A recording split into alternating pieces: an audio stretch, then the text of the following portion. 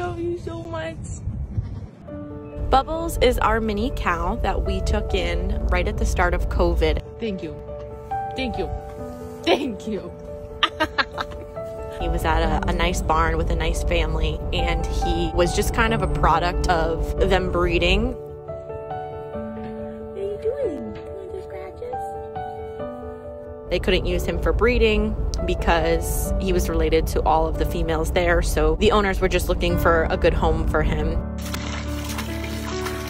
They reached out and asked if I would be willing to give him a forever home. We obviously said yes.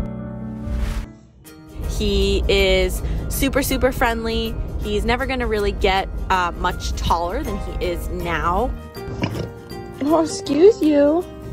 He loves to play. He's so, so happy that he now has a friend to play with. He did create an amazing bond with Tito, one of the goats. I would see them over in the pasture, back to back, chewing their cud together, and napping together, eating together. They literally did everything together.